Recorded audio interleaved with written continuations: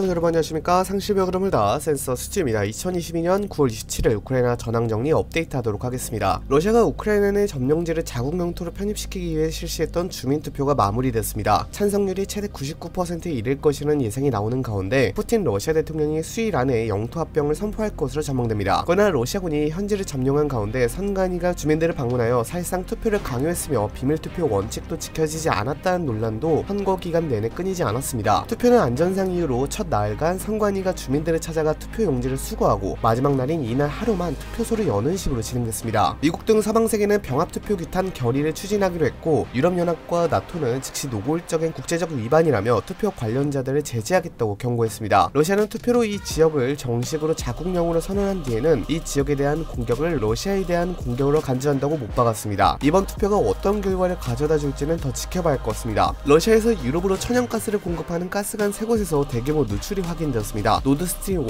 노드스트림 2의 발트해 해저관 3개에서 가스가 누출된 사고가 발생했으며 이는 의도적인 무언가로 인해 생긴 누출이라고 합니다. 이 행동의 배후에 누가 있는지는 아직 확인되지 않았습니다. 노드스트림의 누출로 인하여 수질 오염이 심화될 것으로 풀이되고 있습니다. 러시아군이 새로 동원된 병력을 헤르손과 하르키우 최전선에 배치한 것으로 알려졌습니다. 이들은 훈련도 제대로 받지 않은 채 바로 전선에 투입이 되었습니다. 병력 보강에는 도움을 줄 수는 있겠으나 우크라이나 반격에 제대로 방어할 수 있을지는 미지수입니다. 오히려 러시아군의 이러한 대응은 전사자만 더 늘리는 꼴입니다. 우크라이나군은 9월 27일 쿠판스크 북쪽의 오스키강 동쪽 기슭에 대한 공격 작전을 수행했습니다. 가장 큰 철도 교점 중 하나인 쿠뇨르스크 부줄로비를 탈환하는 데도 성공했습니다. 우크라이나군은 지속적으로 북동쪽으로 진격하고 있는 모습입니다. 러시아군은 계속해서 포격을 통해 우크라이나군을 막아보려 하지만 역부족입니다. 우크라이나군은 리만의 북서쪽으로 진격했습니다. 대포위를 하기 위함인 것으로 보입니다. 리만에서 북서쪽으로 약 35km 정도 되는 지점을 탈환하는데 성공하였습니다. 우크라이나군은 계속해서 진격을 하고 있는 모습이며 로저베와 르비티시는 자유롭게 이동이 가능하다고 합니다. 이는 리만이 포위 직전이라는 것을 나타냅니다. 리만 주요 소도시를 점점 점령하며 리만을 압박해 나가고 있습니다. 이제 리만으로 향하는 러시아 병참선도 얼마 남지 않았습니다. 도네츠크입니다. 러시아군은 바무트 인근인 쿠르드미부카와 자이츠베 마요르스크를 공격했습니다. 뉴욕타임즈 보도에 의하면 죄수들을 끌고 와 총알받이로 쓰고 있다는 보도도 있었습니다. 죄수들을 일렬로 세워 걸어가게 한 뒤 우크라이나군이 있는지 없는지 확인하고 진격하고 있다고 합니다. 러시아군은 지속적으로 도네츠크에서 진격을 시도하고 있습니다. 헤르손에선 지속적으로 서로 간의 포격전과 소규모 전투가 이어지고 있는 모습입니다. 우크라이나군은 드니프로강에서 도하 중인 러시아 바지선을 공격하는 모습을 보여주기도 했고요. 카우부카 다리를 수리하는 러시아군은 공격하기도 했습니다. 또한 주요 거점과 러시아 탄약고, 방공 시스템을 공격하기도 했습니다. 러시아군도 이에 대응하여 크리비디에 있는 우크라이나 공군기지에 대한 피해를 입혔고 우크라이나 방어진지에 대한 미사일 공습을 가했습니다. 또 미콜라이유의 산업 기반 시설을 공격하기도 했습니다. 러시아군은 우크라이나 남부 도시를 공격하기 위해 이란산 무인기를 계속해서 사용하고 있는 모습입니다. 우크라이나 남부 전역에서 사용된 무인기 사용 횟수만 50회 이상입니다. 오늘 영상 마치도록 하겠습니다. 감사합니다.